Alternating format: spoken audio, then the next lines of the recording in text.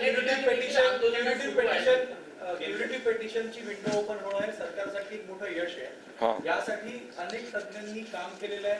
त्या तज्ञांना सोबत घेऊन क्युरिटी पेटिशनची विंडो ओपन एक एक एक त्याच्यामध्ये आणखी एक मुद्दा जी काल आम्ही बैठक घेतली सर्व पक्षीय सर्व पक्षीय बैठक घेतली. त्याच्यामध्ये देखील जी भूमिका सरकारची होती की मराठा समाजाला आरक्षण टिकणारं दिलं पाहिजे. कायद्याच्या चौकटीत दिलं पाहिजे. हे देखील सर्व पक्षीयांनी मान्य केलं आणि सर्व पक्षीय बैठकीमध्ये सर्व नेते आले त्यांनाही मनापासून मी धन्यवाद देतो. आणि त्याचबरोबर जे काही राज्यामध्ये याला हिंसक वळण जे लागलं होतं ते देखील थांबलं पाहिजे आणि ते त्याच्यावर देखील योग्य तो उपाय सरकारने केला पाहिजे अशा प्रकारची सर्वपक्षीय बैठकीमध्ये देखील चर्चा झाली. आणि मनोज जरंगे पाटील यांनी उपोषण आंदोलन मागं घ्यावं अशा प्रकारचं देखील आव्हान विनंती आणि चर्चा कालच्याही बैठकीमध्ये झाली. त्यामुळे सरकार म्हणून आम्ही जे एक बैठक बोलवली सर्व पक्षीयांची आणि त्या बैठकीमध्ये सगळेजण आले आणि ते देखील या ठिकाणी नक्कीच त्यांना देखील धन्यवाद या ठिकाणी द्यायला पाहिजे.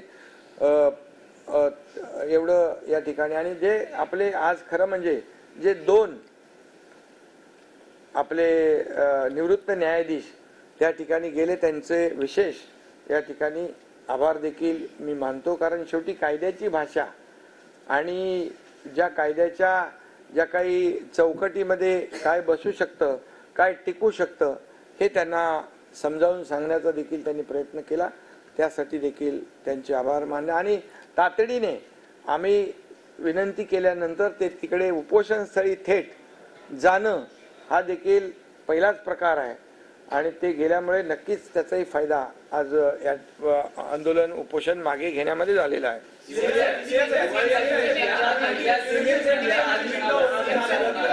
जरांगे पाटील उपोषणाला बसले होते त्यावेळेस तुम्ही भेट दिली होती उपोषण आंदोलन मागे घेतलं होतं. पुन्हा ते सुरू झालं. हा तात्पुरता दिलासा आहे कारण त्यांनी दोन महिन्यांचा कालावधी दिलेला आहे सरकारला. जर दोन महिन्यात प्रश्न सुटला नाही तर पुन्हा मुंबईच्या वेशीवर आंदोलन धडकणार असा त्यांनी इशारा किंवा अशी त्यांनी भूमिका व्यक्त नाही आमचा प्रयत्न आहे पूर्ण कारण याच्यामध्ये दोन महिन्यामध्ये संपूर्ण राज्यभरामध्ये जी यंत्रणा आहे जिथे जिथे जुन्या नोंदी आहेत ते शोधण्याचं काम आमचा जो काही ही टीम जी आहे शिंदे समितीला आम्ही पूर्णपणे स्ट्रेंथन करतोय. त्यांना मनुष्यबळ वाढवून देतोय. प्रत्येक जिल्ह्यामध्ये आवश्यक ज्या काही बाबी आहेत त्या आम्ही करून देऊ. आणि त्यामुळे विश्वास आहे की हे काम पूर्ण होईल. आणि त्याचं डे टू डे जे काय अपडेट आहे जी काय प्रोग्रेस आहे तो देखील जरांगे पाटील मनोज जरांगे पाटील त्यांनाही आम्ही सांगितलंय की तुम्ही देखील या कमिटीमध्ये आवाहन केलं विनंती केली की तुमचेही लोक या कमिटीमध्ये असतील तर तेही देखील काही सूचना करू शकतील. काही त्याच्यामध्ये आणखी काही उणिवा असतील तर त्या आम्ही दूर करू शकतो सरकार म्हणून. त्यामुळे मला वाटतं एक अशा प्रकारची वेळ येणार नाही. विंडो ओपन होणं सरकारसाठी एक मोठं यश मानलं जातं आणि एक पहिलं पाऊल आहे आरक्षण टिकणारं आरक्षण देण्यासाठी. पण यामध्ये अनेक तज्ज्ञांनी काम केलेलं आहे. तर सुप्रीम कोर्टात क्युरिटी पिटिशनच्या माध्यमातून टिकणारं आरक्षण देण्यासाठी सरकार यांना एकत्रित घेणार का? आणि कसे पाऊल उचलले जातात? बिलकुल ज्यांना ज्यांना ज्यांनी पूर्वी आरक्षण देण्यामध्ये काम केलेलं आहे. पूर्वी जसं देवेंद्रजी मुख्यमंत्री होते त्यावेळेस आपण आरक्षण दिलं. हायकोर्टामध्ये ते चॅलेंज झालं पण हायकोर्टामध्ये टिकवण्यासाठी ज्या ज्या लोकांनी ज्या सिनियर काउन्सिल असतील तज्ज्ञ असतील या सर्वांनी मदत केली आणि हायकोर्टमध्ये टिकलं दुर्दैवाने सुप्रीम कोर्टामध्ये ते रद्द झालं.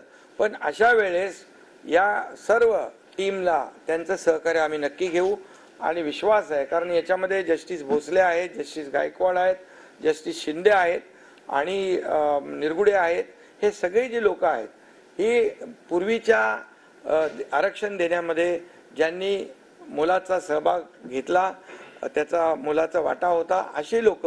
आणि आणखी जी सिनियर काउन्सिल म्हणून जे सरकारच्या वतीने सुप्रीम कोर्टामध्ये क्युरेटिव्ह पिटिशनवर काम करतील त्यांना देखील ही सर्व मंडळी टीम काम करेल.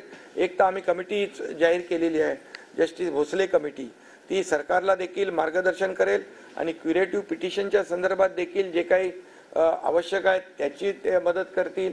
जस्टिस शिंदे कमिटी आहे त्याला देखील ती मदत करेल. म्हणजे दोन बाजूनी आपण हे न्याय देण्याचं काम करतो. आंदोलन आंदोलन मोठ्या प्रमाणात झाले होती.